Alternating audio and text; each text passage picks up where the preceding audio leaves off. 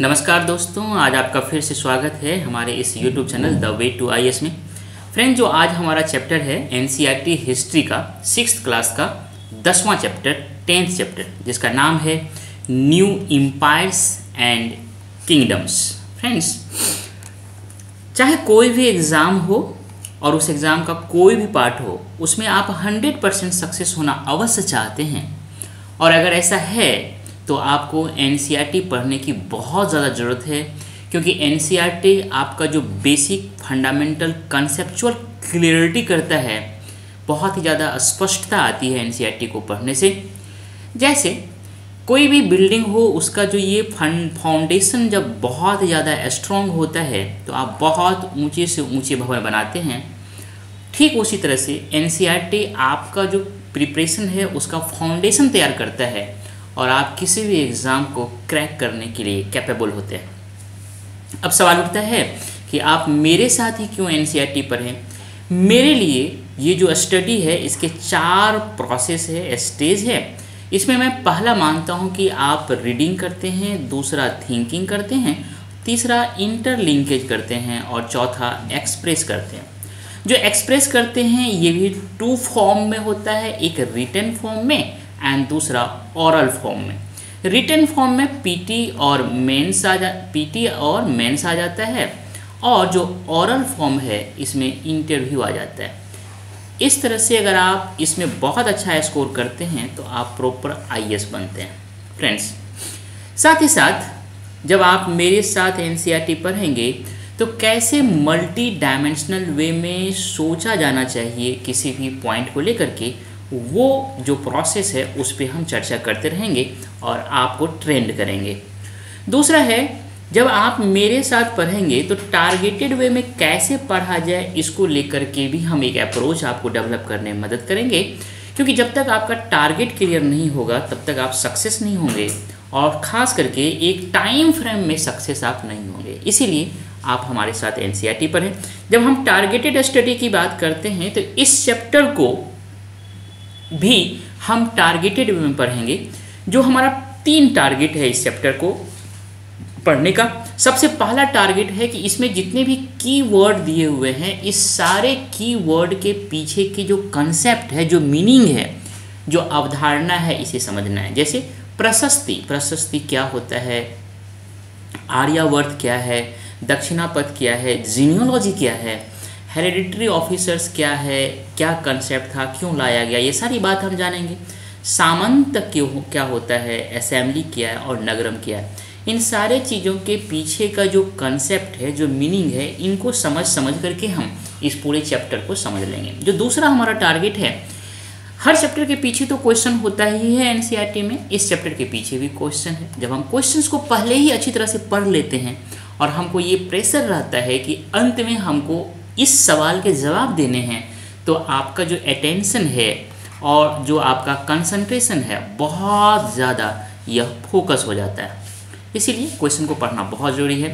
पहला जो क्वेश्चन है, इसमें कहता है स्टेटमेंट वेदर ट्रू और फॉल्स इसके बारे में जानना है। हरि सेन कंपोज ए प्रशस्ति इन प्रेज ऑफ़ गौतमी पुत्र सात करनी। यह सही है, गलत ये बतानी है? मतलब हरि सेन गौतमी पुत्र सात करनी से एसोसिएटेड है या नहीं है, ये जाननी है।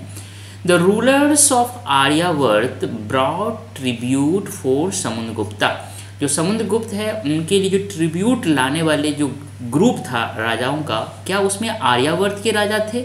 ये स्टेटमेंट सही है, गलत ये जाननी है। There they are twelve rulers in Dakshinapatha ये ट्वेल्व थे या नाइन थे? दक्षिणापथ के रूलर्स ये आपको जाननी है। Taxila and Madurai were important centre under the control of Gupta rulers जो गुप्ता रूलर्स है, उसके कंट्रोल में तक्षशिला और मदुरई था। यह स्टेटमेंट सही है या गलत ये जाननी है? Aihole was the capital of Pallavas जो पल्लव एक राज्य था, उसका कैपिटल एहोल था या नहीं, ये जाननी है। And the local assemblies functions for several centuries कई शताब्दियों तक। साउथ इंडिया में लोकल असेंबलीज कार्य करता रहा, यह स्टेटमेंट सही है या गलत, ये सब जानेंगे। जो दूसरा क्वेश्चन है, वो कहता है mention three authors who wrote about Harshavardhana जो हर्षवर्धन एक शासक थे, उनके बारे में थ्री ऑथर्स ने मेंशन किया है। तो ये थ्री ऑथर्स कौन कौन है, इसके बारे में जाननी है। जो तीसरा क्वेश्चन है, वह कहता है what change do you find in armies at this time जो आर्मी का पूरा जो स्ट्रक्चर था, जो सिस्टम था, उसमें एक नया चेंजेज इस समय आया था, वह क्या था? और पहले की तुलना में कंपेयर करके बताना है तो ये हमें आंसर देनी है। दूसरा कहता है, जो लास्ट क्वेश्चन है fourth number what were the new administrative arrangements during this period अब हम बात कर रहे हैं एडमिनिस्ट्रेटिव अरेंजमेंट्स का इस समय में जो कि एक न्यू एलिमेंट था compare to earlier administrative system उनको यहाँ पे हमें लिखनी है, बतानी है। फ्रेंड्स जो हमारा तीसरा टारगेट है, वो है सब हेडिंग का। आप जानते हैं कि ये पूरा चैप्टर कई सब हेडिंग में बटा हुआ है। सब हेडिंग क्या होता है, इसको समझ लेते हैं। देखिए न्यू इम्पेयर्स एंड किंगडम्स तो इस चैप्टर का नाम है। इसके अलावा इस पूरे चैप्टर में इस तरह का कई सब हेडिंग दिया हुआ जैसे prashasti and what they tells us उसके बाद समुन गुप्ता प्रशस्ति, इस तरह से बहुत सारे सब हेडिंग है।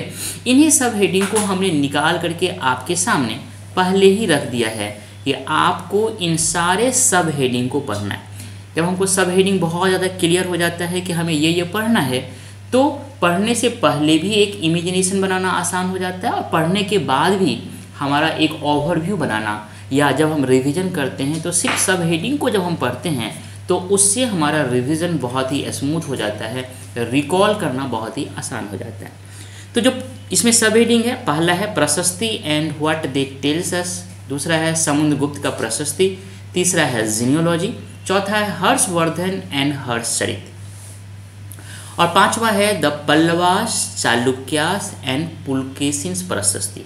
यहाँ तक तो हम पॉलिटिकल जो सिस्टम है, उसकी बात कर रहे थे। अब इसके बाद जो किंगडम्स है, उसका एडमिनिस्ट्रेशन कैसा है, उसकी बात चर्चा कर रहा है।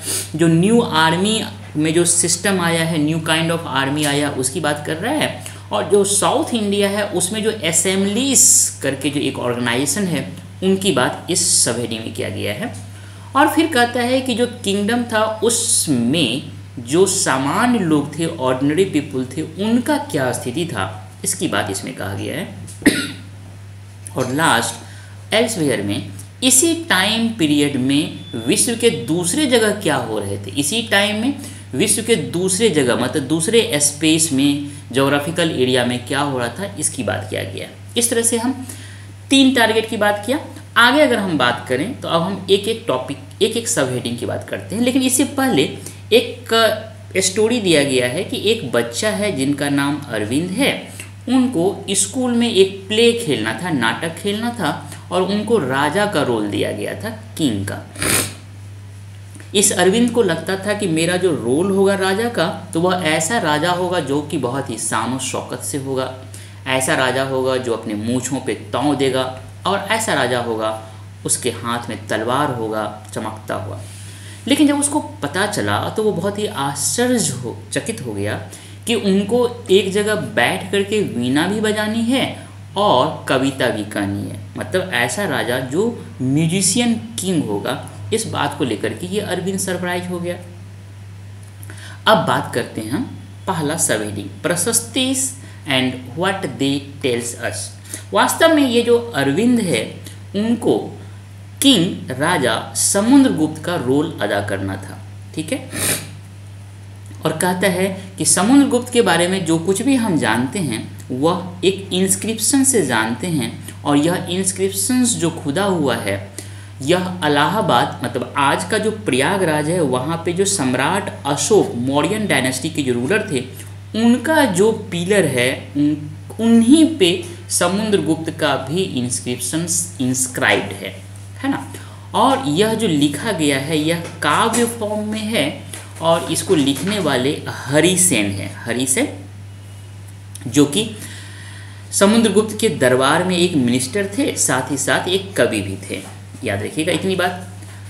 पहली बात। दूसरी बात कहता है कि ये जो इंस्क्रिप्शंस थे, ये स्पेशल काइंड के थे, इसको प्रशस्ति कहा गया है और ये जो प्रशस्ति है, एक संस्कृत वर्ड है जिनका मीनिंग होता है इन प्रेज मतलब जब आप किसी की बड़ाई करते हैं, उनका गुणगान करते हैं तो उनको प्रेज बोलते हैं। और, है ना, इस प्रेज का जो संस्कृत वर्ड है, प्रशस्ति है। कहता है कि इससे पहले भी प्रशस्ति को कंपोज किया गया था। जैसे गौतमी पुत्र सात करने के समय में भी उनका जो इंस्क्रिप्शन मिलता है, वो इसी तरह से प्रशस्ति के फॉर्म में है। लेकिन इस समय में, खास करके गुप्ता पीरियड के समय, इस प्रशस्ति का जो इम्पोर्टेंस है, बहुत ज़्यादा बढ़ गया था। यही बात इस पूरे पैराग्राफ में कहा गया है। आगे बढ़े हम। अब कहता है, समुद्र गुप्ता का प्रशस्ति। कहता है, समुद्र गुप्ता का जो प्रशस्ति है,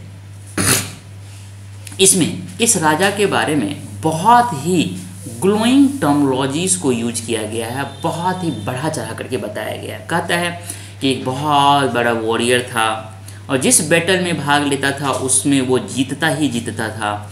ये बहुत ही विद्वान राजा था, यह एक तरह का पोइट था, कवि भी था।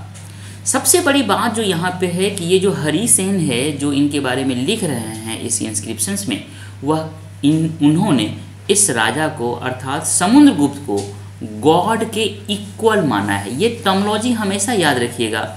कि गॉड के बराबर माना है, ये कहीं भी क्वेश्चंस में आपको ये ऑप्शन दे सकता है कि गॉड के बराबर माना गया गॉड के नीचे माना गया है गॉड से भी बड़ा माना गया। तो यहाँ पे कंफर्म रहिएगा कि गॉड के बराबर हरी सेन ने माना है समुद्रगुप्त को।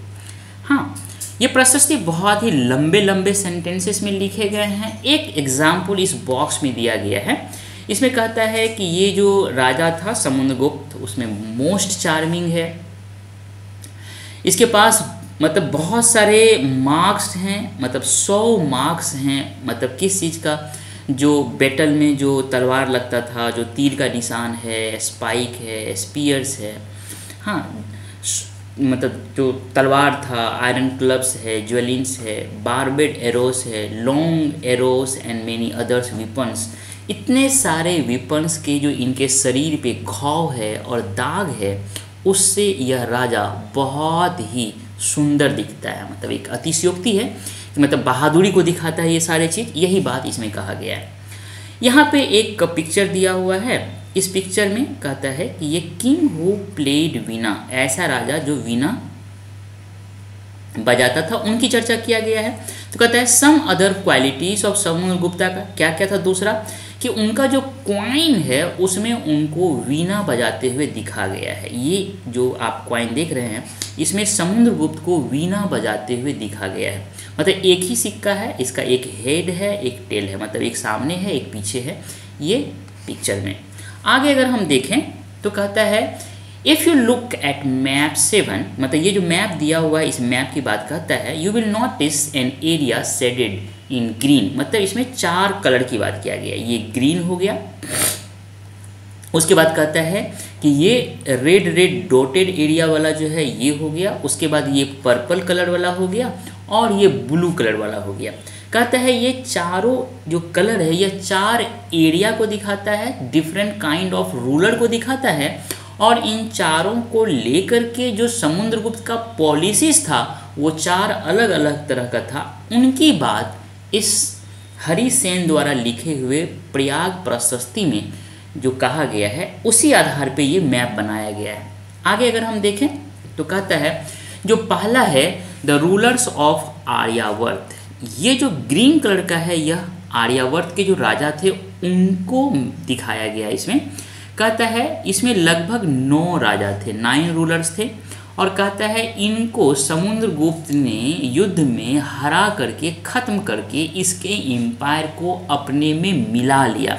याद रखिएगा, ये सवाल भी पूछा है आर्यावर्त से लेकर के।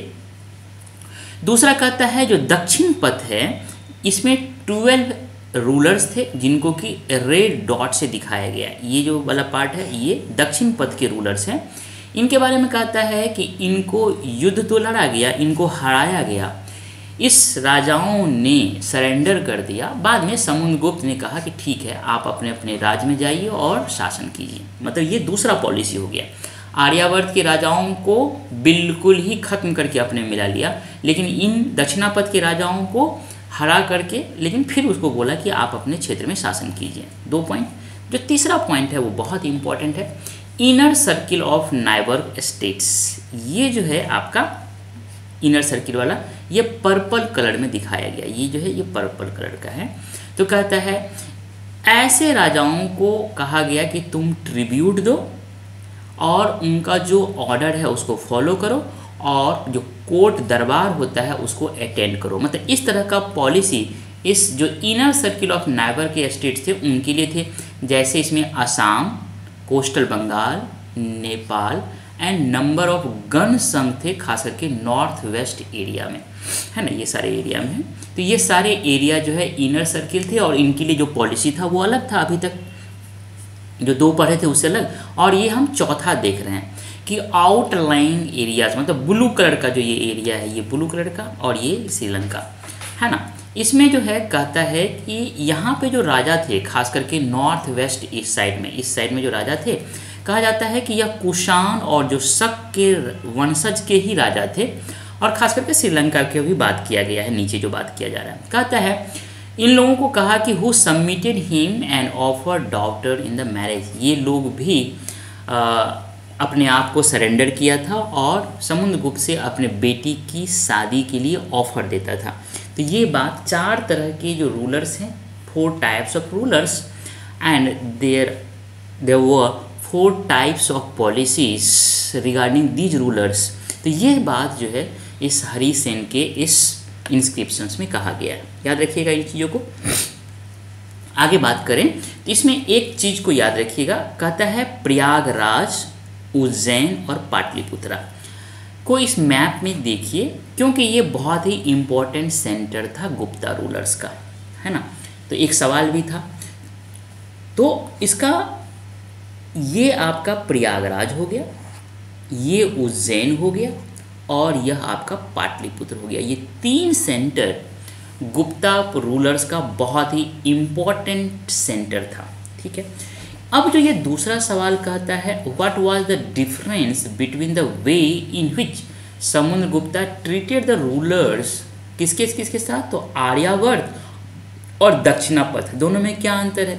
यहाँ के जो रूलर्स थे, उनको तो बिल्कुल ही ख़त्म करके इनके एरिया को अपने एरिया में मिला लिया। जो दक्षिणापथ थे, इनको हराया तो ज़रूर, लेकिन बोला कि ठीक है, आप अपने एरिया में शासन कीजिए। कहता है, लेकिन अब आप ये बताइए कि इसके पीछे ये जो अंतर था डिफरेंस था पॉलिसीज़ में, इसका क्या कारण हो सकता था? तो याद रखिए, इसका कारण है जियो पॉलिटिकल कारण हो सकता है जोग्राफिकल जोग्राफिकल कारण हो सकता है। मतलब जोग्राफिकली बहुत ज़्यादा दूर था, बहुत सारे कम्युनिकेशन का प्रॉब्लम हो सकता था, इन सारे कारण को ध्यान में रखिएगा। आगे अगर हम बात करें अच्छा इससे पहले हम कुछ मैप आपको दिखा देना चाहते हैं। मैप में जो साइट्स है, उसको देख लीजिए, ये थानेश्वर है। ये मथुरा, कन्नौज, पाटलिपुत्रा, प्रयाग और उज्जैन तो हमने देखा, ये नालंदा है। उसके बाद ये गुजरात में वल्लभी है, ये वरूच है, ये अजंता है। ये कहाँ पे है अजंता? तो आज का जो महाराष्ट्र है, वहाँ अजंता है। ये एहोल है, ये अमरावती है। उसके बाद ये कांचीपुरम है, बहुत ही इम्पोर्टेंट साइट है। ये महाबलीपुरम है, ये अरिक मेडू है और ये पुहार है। और ये मदुरई है वेरी इंपॉर्टेंट साइट याद रखिएगा, सारे साइट्स को ज़रूर याद रखिएगा, क्योंकि हिस्ट्री जब आप पढ़ते हैं तो हिस्ट्री में टाइम एंड स्पेस का हम स्टडी करते हैं. टाइम एंड स्पेस का मतलब क्या हुआ? टाइम मतलब समय, और स्पेस का मतलब होता है जोग्राफी भूगोल. मतलब कहाँ पे क्या हो रहा है, कहाँ कहाँ क्या हो रहा है? तो स्पेस मतलब जोग्राफी हो गया, भूगोल हो गया, या साइट्स हो गया. तो जब आपको ये अच्छी तरह से पता हो कि कहाँ पे कौन सा साइट्स है, तब आपको ये याद रखना बड़ा आसान हो जाएगा कि उस साइट पे समय के साथ कब कब क्या घटित हुआ। इसलिए इस तरह से पढ़ेंगे तो हिस्ट्री आपके लिए बड़ा ही आसान हो जाएगा। आगे अगर हम बात करें तो ये है हमारा अगला सब हेडिंग जिसको बोलते हैं जीनियोलॉजीस जीनियोलॉजीस का हिंदी मतलब होता है वंशावली। तो कहता है कि मोस्ट जो प्रशस्तिस हैं उसमें एंसेस्टर मतलब वंशावली, जो रूलर्स होते हैं, उनके वंशावली को भी दिया जाता है, लिखा जाता है मेंशन किया जाता है। तो ये जो जीनियोलॉजीज हैं, जो अभी जो प्रशस्ति की बात किया, उसमें समुद्रगुप्त के जो एनसेस्टर हैं, उनके भी बात किया गया। जैसे ग्रेट ग्रैंडफादर ग्रैंडफादर फादर और मदर की भी बात किया गया था। कहता है, ये जो समुद्रगुप्त है, इसकी माता का जो नाम था, वो कुमार देवी है। और यह कुमार देवी कहाँ से बिलोंग करती है? मतलब इनका मैके कहाँ था? तो जो लिच्छवी गन है, वहाँ पे इनका मैके था। जबकि इनके फादर जो है, समुद्रगुप्त के, उनका नाम चंद्रगुप्त था। चंद्रगुप्त की क्या विशेषता है? यह गुप्ता डायनेस्टी का पहला शासक है, जिसने कि बहुत बड़ा ग्रांड टाइटल को धारण किया, और वो ग्रांड टाइटल था महाराजा अधिराज। है ना? इससे पहले गुप्ता डायनेस्टी के कोई भी रूलर इतना बड़ा टाइटल नहीं लिया था। समुद्रगुप्त ने भी इस टाइटल को यूज़ किया था। ठीक है? तो इसकी जो ग्रेट ग्रेट फादर थे या जो फादर थे, उन्होंने सिंपली महाराजास का उपाधि लिया था। लेकिन इन्होंने महाराजा अधिराज का उपाधि कौन कौन लिया? तो चंद्रगुप्त और समुद्रगुप्त, ये दोनों ने लिया। कहता है arrange this titles in order of importance जैसे राजा हो गया महाराजा अधिराज हो गया और महाराजा हो गया। तो अरेंज कैसे इम्पोर्टेंस में? जो सबसे इम्पोर्टेंस होगा, ये महाराजा अधिराज होगा उससे कम इम्पोर्टेंस महाराजा होगा और उससे भी कम इम्पोर्टेंस राजा होगा। इसी को अरेंज करना है। कहता है, जो समुद्रगुप्त है, उनके बारे में अगर जानना हो तो उनके बाद का जो रूलर्स होगा, उनका जो वंशावली होगा, उसमें भी समुद्रगुप्त का मेंशन होगा। तो वही बात कह रहा है कि समुद्रगुप्त के बाद जो शासक बने, उनका नाम था चंद्रगुप्त द्वितीय। याद रखिएगा, समुद्रगुप्त के पिता का नाम तो चंद्रगुप्त था। समुद्रगुप्त के बाद का रूलर जो उनका सन था, उनका पुत्र था, उनका नाम चंद्रगुप्त द्वितीय था। इन्होंने भी बहुत सारे मतलब इनका जो उल्लेख है ज़्यादातर इंस्क्रिप्शंस और क्वाइंस पे मिलते हैं। कहा जाता है कि इन्होंने वेस्टर्न जो इंडिया है, वहाँ पे अपना एक्सपेडिशन किया मतलब अपना सेना के साथ उस क्षेत्र में गया, युद्ध लड़ने के लिए विजय अभियान पर निकला था। और जो लास्ट सक रूलर्स थे उस एरिया के, उनको हरा करके अपने एरिया में मिला लिया। कहता है according to letter believe his court was full of learned people कहता है, उनका जो कोर्ट था, दरबार था, वह विद्वान लोगों से भरा हुआ था। इसके साथ ही साथ इसको ध्यान से पढ़िएगा कि ये विक्रम संवत का कंसेप्ट कहाँ से आया? ये बात जब हम विक्रम संवत की कहते हैं तो ये 58 BCE है ना? उसमें जो चंद्रगुप्त, ये गुप्ता किंग थे, ये चंद्रगुप्त सेकेंड इन्होंने शक रूलर्स को जो हराया था, हराने के बाद विक्रमादित्य का उपाधि लिया था, और इसी के उपलक्ष्य में इन्होंने विक्रम संवत चालू किया था। कब है इसका डेट 58 बीसी किसने चालू किया था? तो समुद्रगुप्त द्वितीय ने क्यों किया था? क्योंकि शक के जो राजा थे, उनको हराया था। और कौन सा उपाधि लिया था? तो विक्रमादित्य का उपाधि लिया था और इस खुशी में विक्रम संवत का शुरुआत किया था 58 बीसी में। ये बात क्लियर हो गया? आगे अगर हम बढ़ें, अब हम बात करते हैं हर्षवर्धन का। और उनका जो बुक है उन पे लिखा गया, उनका बायोग्राफी है, वो है हर्ष चरित। कहता है, हमने गुप्ता रूलर्स के बारे में तो इंस्क्रिप्शंस और क्वाइंसेस जाना लेकिन कुछ ऐसे भी रूलर्स हैं जिनको हम बायोग्राफी से जानते हैं। ऐसे ही रूलर में है हर्षवर्धन। ये आज से लगभग 1400 साल पहले इनका शासन था। इनके बारे में जो लिखा गया है, यह हर्षचरित जो बायोग्राफी है, इनको लिखने वाले इनके दरबारी कवि थे बानभट्ट। याद रखिएगा, बानभट्ट यहाँ पे मेंशन कर रहा हूँ। एक जो राइटर है बानभट्ट है दो और हमको ढूंढना है, क्योंकि क्वेश्चन था कि बानभट्ट मतलब तीन राइटर कौन कौन है, जिसने हर्षचरित के बारे मतलब हर्षवर्धन के बारे में चर्चा किया है। तो सबसे पहले हम बानभट्ट, इन्होंने हर्षचरित लिखा, किस भाषा में है तो ये संस्कृत में है। है ना? This gives a genealogy of Harsha मतलब हर्षा के जो वंशावली है, वो देता है, और यह जो हर्षचरित है, यह कहाँ आकर के खत्म हो जाता है? जैसे ही हर्षवर्धन राजा बनता है वहाँ आकर के इनका विवरण खत्म हो जाता है। मतलब उसके बाद का विवरण इसमें नहीं है। जो फेन सांग है स्वेंग सांग है, जिनके बारे में आप नाइन्थ चैप्टर में पढ़ चुके हैं, उन्होंने भी हर्षवर्धन के बारे में बहुत कुछ लिखा है, क्योंकि इन्होंने अपना बहुत सारा समय हर्षवर्धन के दरबार में बिताया था। तो मतलब हर्षवर्धन के बारे में हमारे पास जानने के दो सोर्स सोर्स हो गए। एक तो बानभट्ट हो गए और दूसरा स्वेनसांग हो गए। दो चीज़ क्लियर हो गया। आगे आगे देखते हैं।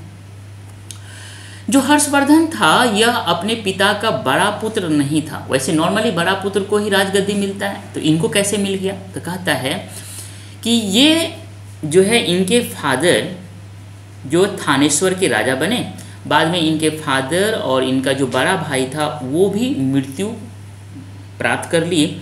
साथ ही साथ कहता है कि उसी समय में इनके जो बहनोई थे मतलब इनकी बहन के जो हस्बैंड थे, वो कन्नौज के शासक थे। मतलब ये हर्षवर्धन जो है अपने पिता और बड़े भाई की मृत्यु के बाद यहाँ के शासक बने और यहाँ पे इनके बहनई, जो इनकी बहन के हस्बैंड है, वो कन्नौज के शासक बने। तो अब बात ये आता है, ये कहता है इसी समय में ये बंगाल के जो शासक से आए यहाँ पे कन्नौज के शासक को मार दिए और यहाँ पे जब मारे अटैक किए, तब थानेश्वर से हर्षवर्धन आया और कन्नौज पे अधिकार कर लिया। कन्नौज पे अधिकार करने के बाद फिर हर्षवर्धन बंगाल की तरफ़ आया बदला लेने के लिए। यही बात इसमें कहा गया है। कहता है कि हर्षवर्धन काफ़ी हद तक सक्सेसफुल तो रहा पूर्व के अभियान में, लेकिन बहुत ज़्यादा दूसरे एरिया में सक्सेसफुल नहीं रहा। खास करके वह जब नर्मदा को क्रॉस करके दक्कन की ओर जा रहे थे तो वहाँ पे एक राज था चालुक्य का राज। उनका जो एक राजा था पुलकेशिन द्वितीय उन्होंने इसका जो अभियान था दक्षिण की ओर आने का मतलब ये आपका नर्मदा रिवर है। इससे जैसे ही दक्षिण की ओर आ रहे थे तो ये जो चालुक्य रूलर थे, इन्होंने इसका जो अभियान था दक्षिण की ओर आने का, उसको रोक दिया। तो मतलब ये बात यहाँ तक कहा गया है। आगे अगर हम बात करें तो कहता है look at political map of India and list the present state which Harshavardhana pass through when he went to Bengal और नर्मदा अप टू नर्मदा। कहते हैं, जब हर्षवर्धन बंगाल गए होंगे तो आज के किस किस राज्य को क्रॉस किए होंगे? तो एक तो यूपी और बिहार को क्रॉस किए होंगे। हो सकता है कि झारखंड भी उसमें आ गया होगा। उसका एग्जैक्ट रूट हमें पता नहीं है। तो इसीलिए आप आप ये भी कह दीजिए कि आप यूपी हो गया, बिहार हो गया, झारखंड हो गया और वेस्ट बंगाल कहता है कि जब यहाँ पे नर्मदा क्रॉस किए होंगे तो आपका एक तो यूपी हो गया और एमपी हो गया। इसका आंसर यही होगा। आगे अगर हम बात करें तो अब बात करते हैं हम पल्लव का, चालुक्य और पुलकेशिन का जो प्रशस्ति है, उसके बारे में। तो सबसे पहले हम देखते हैं पल्लव और चालुक्य के बारे में। कहता है कि मोस्ट इंपॉर्टेंट रूलिंग डायनेस्टी था साउथ इंडिया का इस समय में। जो पल्लवा किंगडम था, वह जो कांचीपुरम है, ये देखिए, ये वाला जो पार्ट है, ये कांचीपुरम है। इस कांचीपुरम के इस पूरे एरिया में पल्लव का जो पूरा एरिया था, ठीक है? और जो चालुक्य था, उनका जो एरिया था रायचूर दोआब में। ये याद रखिएगा, रायचूर दोआब बहुत इंपॉर्टेंट है। ये जो है, ये कृष्णा रिवर है। ये वाली जो पार्ट है, ये कृष्णा रिवर है, और ये तुंगभद्रा रिवर है। इनके बीच का जो ये भूभाग वाला एरिया है इसको बोलते हैं रायचूर दो आब, है ना? दो नदियों के बीच का जो क्षेत्र होता है, उसको दोआब बोलते हैं। तो इस एरिया का नाम रायचूर दोआब है। बहुत ही उपजाऊ लैंड है। आगे चल कर के इसी भूमि के लिए बहुत लड़ाई हुआ है अलग अलग डायनेस्टी में। तो इसको याद रखिएगा। तो ये वाला हो गया। यहीं पे रायचूर दोआब में जो एहो, ये आपका चालुक्य है, जिसका कैपिटल एहोल है, यहाँ से ये शासन करते थे। यही बात यहाँ कहा गया है। जो एहोल है कैपिटल ऑफ़ चालुक्य है और ये बहुत ही इम्पोर्टेंट ट्रेडिंग सेंटर था। बाद में यहाँ पे बहुत सारे टेंपल बने थे, यह रिलीजियस सेंटर के रूप में भी उभरा। पर बात यह है कि ये जो पल्लव राजा हैं और जो चालुक्य है, ये एक दूसरे के एरिया में बहुत ज़्यादा लगातार युद्ध अभियान करते रहता था। यहाँ तक कि जो इम्पोर्टेंट टाउन होते थे इवन कि कैपिटल जो टाउन होते थे, वहाँ पर भी अटैक करते रहते थे। जो जो चालुक्य का जो सबसे बेस्ट इंपॉर्टेंट रूलर है, वह है पुलकेशिन द्वितीय और उनके बारे में जो हम जानते हैं, एक प्रशस्ति से जानते हैं, और उस प्रशस्ति के जो राइटर हैं, उनका जो दरबारी कवि थे, वो रवि कीर्ति तो याद रखिएगा ये रवि कीर्ति है।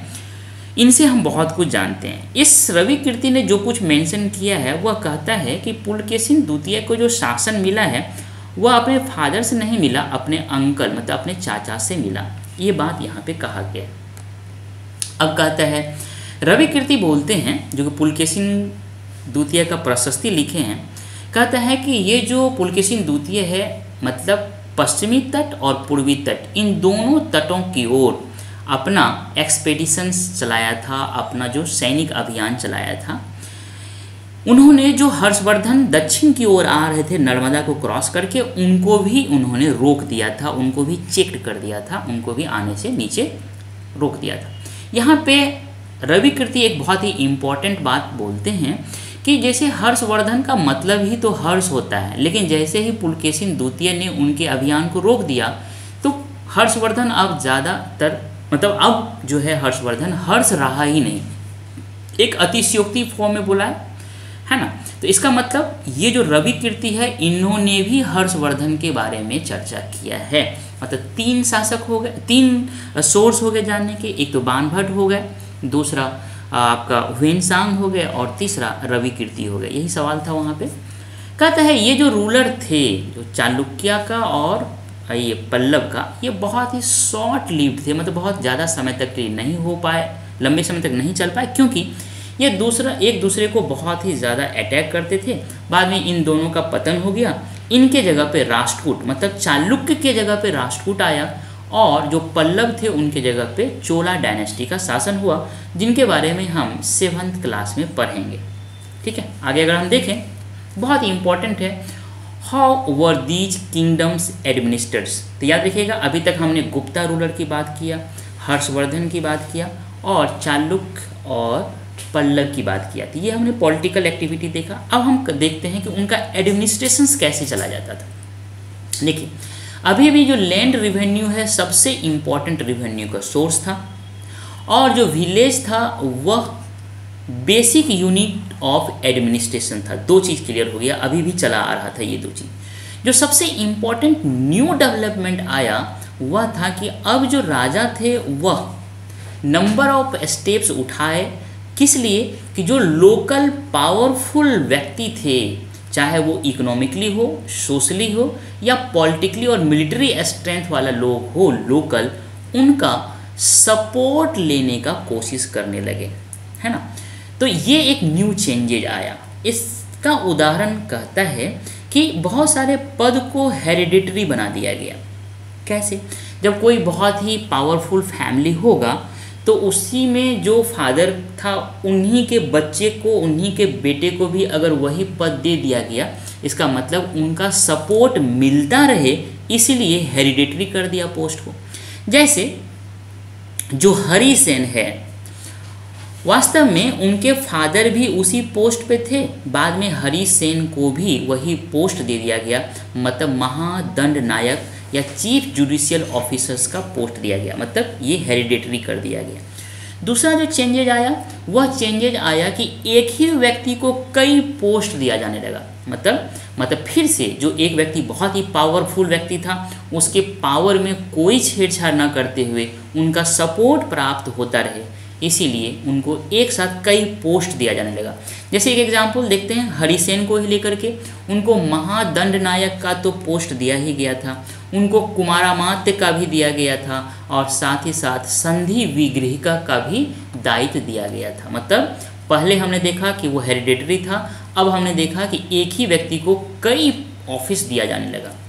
जो तीसरा इंपॉर्टेंट जो चेंज आया, वो ये है कि जो लोकल एडमिनिस्ट्रेशन था उसमें बहुत सारे जो लोकल लोग थे, उनका से होने लगा। मतलब जो लोकल पावरफुल लोग थे, उनको भी उस लोकल एडमिनिस्ट्रेशन में जगह दिए जाने लगा। जैसे एक है, नगर श्रेष्ठी।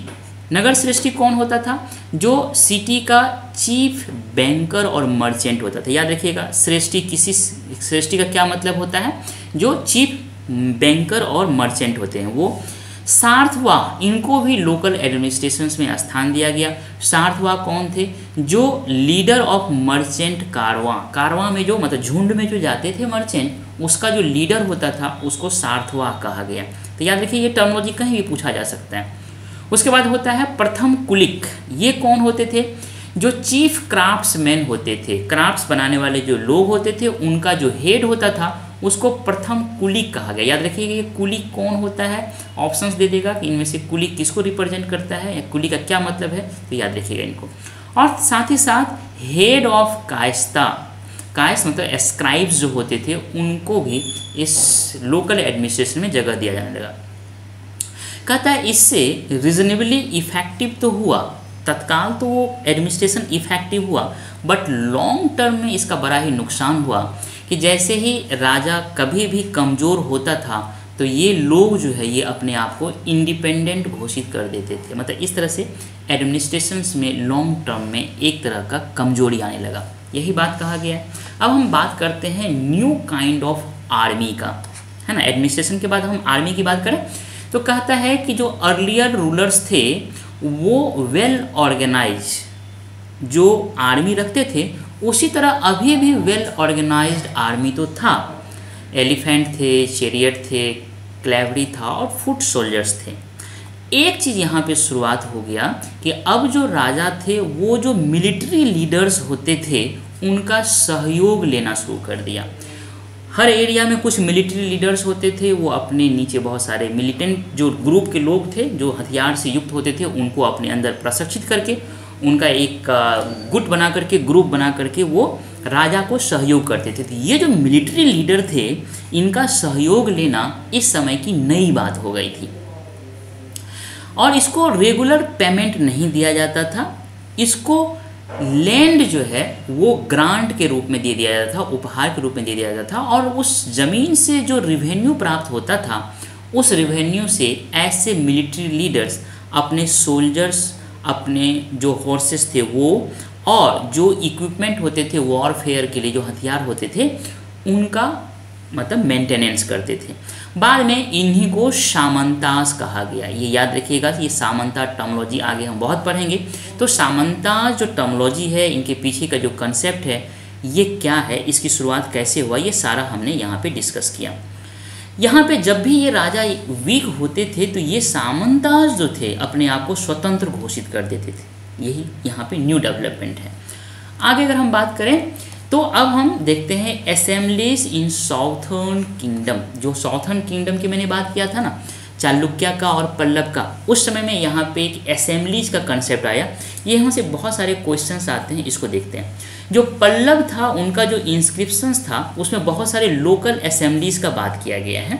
तो ये हमारे लिए जानने का इम्पोर्टेंट सोर्स है लोकल असेंबलीज के बारे में, पल्लवा इंस्क्रिप्शंस उसमें एक जो असेंबलीज है, जिसका नाम सभा है, इसकी बात किया गया है। ये सभा वास्तव में उस समय जो ब्राह्मीण लैंड ओनर्स थे, उनका असेंबली था, उनका एक ऑर्गेनाइजेशन था। ये जो सभा था ब्राह्मण का लैंड ओनर्स का, इसमें बहुत सारे सब कमिटी थे और हर कमिटी अलग अलग काम देखता था। बहुत इंपॉर्टेंट है इसको जानना कि उस समय में सभा था, कमिटी, उस सभा में बहुत सारे सब कमिटी थे और हर कमिटी का अलग अलग काम होता था। जैसे इरिगेशंस का काम एग्रीकल्चर ऑपरेशंस का काम रोड बनाने का काम लोकल टेंपल बनाने का काम, ये अलग अलग सब कमिटी के द्वारा ये किया जाता था, सभा के द्वारा। इसके बाद जो लोकल असेंबली है, वो है ऊर। ऊर वास्तव में क्या था? ये भी लैंड ओनर्स का ही असेंबली था, पर ये नॉट ब्राह्मीण थे। याद रखिए, ये क्वेश्चन पूछ देगा कि ऊर जो थे, यह असेंबली था लैंड ओनर्स का। ब्राह्मीण लैंड ओनर्स का असेंबली था। तो ये स्टेटमेंट गलत हो जाएगा। ये ऊर जो है, ये नॉन ब्राह्मीण लैंड ओनर्स का असेंबली था। याद रखिएगा। और जो तीसरा है, ये नगरम है। ये भी असेंबली था लेकिन यह ऑर्गेनाइजेशन था मर्चेंट का। तो याद रखिएगा, ये तीन चीज़ टर्मोलॉजी, सभा, ऊर और नगरम। इसको याद रखिएगा, तीनों का क्या विशेषता है, तीनों किस किस चीज़ का, किन किन लोगों का असेंबलीज है, इसको याद रखिएगा। और कहते हैं कि ये जो असेंबलीज थे, कई शताब्दियों तक चलता रहा। ये जो आपका सवाल है, उसमें ये था। तो ये बात हो गया। आगे अगर हम बात करें तो जो साधारण लोग थे ऑर्डनरी पीपल थे, उनके बारे में क्या क्या हम जानते हैं उस समय के बारे में, वो हम यहाँ पे डिस्कस किया गया इस किताब में। कहते हैं, उस समय जो नाटक लिखे जाते थे, या जो दूसरे अकाउंट या सोर्स है जानने का, उससे हम इसके बारे में जानते हैं। इसमें कहा गया है कि अगर हम कालिदास के बारे में देखें तो कालिदास ने एक नाटक लिखा था। उस नाटक की जो विशेषता है, वह यह है कि जो ब्राह्मण्स थे और जो राजा थे वह जो उस नाटक में भाषा बोलते थे, वो संस्कृत था। जो महिलाएँ थी और जो अदर मेन थे, वह जो उस नाटक में भाषा बोला है, वह प्राकृत है। याद रखिएगा इसको। कहता है उसका जो प्ले है, उसका एक प्ले है जिसका नाम अभिज्ञान शकुंतलम है। ये बहुत इंपॉर्टेंट है। अभिज्ञान शकुंतलम का राइटर कौन है? तो ये कालिदास है। अभिज्ञान शकुंतलम क्या है? पोएम है, कविता है या नाटक है? इतना बारीकी से याद रखिएगा। तो अभिज्ञान शकुंतलम जो है, एक नाटक है, प्ले है पोएम नहीं है। ठीक है, इस नाटक में जो लव स्टोरी की चर्चा है, किनके किनके बीच? तो एक राजा है, दुष्यंत और एक महिला है, शकुंतला। इन दोनों के बीच का जो लव स्टोरी है उसी के बारे में इसमें डिस्क्रिप्शन किए दिया गया है। साथ ही साथ एक बहुत ही पुअर फिशरमैन के बारे में भी इसमें चर्चा किया गया है, जो हम आगे के स्लाइड में देखेंगे। ठीक है? आगे देखते हैं तो एक फिशरमैन है, उनको एक बहुत ही सुंदर जो रिंग है, उनको ये रिंग मिला। और ये रिंग कौन सा रिंग था? अंगूठी। तो जो राजा था, उन्होंने शकुंतला को गिफ्ट के रूप में दिया था। एक दिन शकुंतला से वह खो गया और नदी में चला गया और बाद में एक मछली उस रिंग को निकल गया। मछली को फिशरमैन ने पकड़ा और उससे फिर रिंग को प्राप्त किया और फिर वो जैसे ही राजा को वापस देने जा रहा था तो वहाँ पे जो पुलिस ऑफिसर्स थे, उन्होंने उससे रूडली बिहेव किया। लेकिन फ़िलहाल वो फिशरमैन राजा को वो अंगूठी दिया। राजा बहुत खुश हुए, उनको बहुत सारे गिफ्ट दिए। अब जो वो पुलिसमैन थे या जो भी लोग थे, उनको लोभ हो गया कि अब इनसे कैसे उपहार में अपना शेयर लिया जाए तो फिर वो उसको बरगलाने की कोशिश किया या उनको कुछ वाइन सब पिलाने की कोशिश किया। यही बात इसमें कहा गया है। आगे अगर हम देखें तो अब हम बात करते हैं, अगर सामान्य लोगों के बारे में जानना हो तो एक और सोर्स है, एक चीनी यात्री का। हाँ ये जो चीनी यात्री है, इनका फाहियान है। ये जो है, ये वास्तव में उस समय में जो अनटचेबिलिटी है मतलब जो छुआछूत है, इनका जो सबसे बुरा रूप हो सकता है, स्वरूप हो सकता है, उनके बारे में इन्होंने विवरण दिया है। देखिए, जब भी कोई फॉरेन के राइटर डिस्क्राइब करते हैं कुछ चीज़ तो ऐसा माना जाता है कि वो बहुत ही न्यूट्रल होकर के बता दिए, बताते होंगे। क्योंकि उनको यहाँ कुछ लेना देना होता नहीं है। वो ट्रैवलर के रूप में यहाँ आते हैं, जो आँखों देखा, हाल देखते हैं, उनको उन्होंने अपने विवरण में लिखते हैं। तो ये जो राइटर हैं चाइनीज़ इन्होंने कहा है कि जो अनटचेबल्स लोग होते थे, वो शहर के बाहर में कहीं रहते थे। उनको जब इंटर करना होता था शहर में तो वह जो लकड़ी का टुकड़ा होता था, उससे एक आवाज़ करता था। और उस आवाज़ के द्वारा वह यह कहता था कि, मैं आ रहा हूँ, आप लोग हमसे सचेत हो जाइए, ताकि हमसे टच करके आपका जो प्योरिटी है, वो ख़त्म ना हो। मतलब ये बहुत बुरा दृश्य है उस समय के बारे में। जो बानभट्ट है, उन्होंने भी आम लोगों के जीवन के बारे में चर्चा किया है। कि कैसे जब आर्मी राजा का सैनिक किसी एरिया से जाता था तो उस एरिया के जो आम लोग होते थे, उनका क्या स्थिति होता था? इस बॉक्स में बताया गया है। कहते हैं, जब राजा ट्रैवल करता था तो उनके साथ बहुत सारे विपन्स होते थे हाँ उसके साथ पोर्ट्स होते थे पेंट्स फर्नीचर गोल्डन ये सारे चीज़ होते थे। जिस एरिया से जाता था, उस एरिया के लोगों को राजा का स्वागत करना पड़ता था गिफ्ट दे करके गिफ्ट में क्या? दही, गुड़ फ्लावर्स ये सब देते थे। कहता है, जब राजा उस एरिया से चले जाता था तो बिल्कुल एक तरह से विध्वंस, पूरे एरिया को विध्वंस होकर के जा लेकर चला जाता था। हर चीज़ को तोड़ देता था, घर टूट जाता था, फ़सल को उजाड़ देता था। ये सारी बात बान भट्ट ने अपने इस विवरण में बोला है। मतलब जो सामान्य लोगों के बारे में अगर हम कहें तो कालिदास का विवरण उसके बाद फाहयान का विवरण और ये बान भट्ट का विवरण से हम उस समय के जो आम लोगों का जीवन था, उनके बारे में जानते, जान सकते हैं। आगे बात करें तो देखिए ये एल्सवेयर की बात किया गया है। इसी समय में विश्व के दूसरे जगह क्या हो रहा था, उसके बारे चर्चा किया गया इसमें।